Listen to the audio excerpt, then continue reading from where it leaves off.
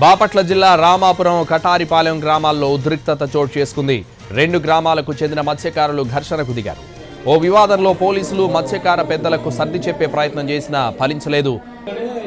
ఒకరిపై మరొకరు దాడి చేసుకోవడంతో అక్కడ పరిస్థితి యుద్ధ వాతావరణాన్ని తలపించింది. ఈ కొట్లాటలో పోలీసులు సహా ఎనిమిది మంది గాయపడ్డారు. మళ్ళీ గొడవలు జరగకుండా భారీగా మోహరించారు పోలీసులు. గాయపడ్డ వారిని చీరాల ప్రభుత్వ ఆసుపత్రికి తరలించి చికిత్స అందిస్తున్నారు.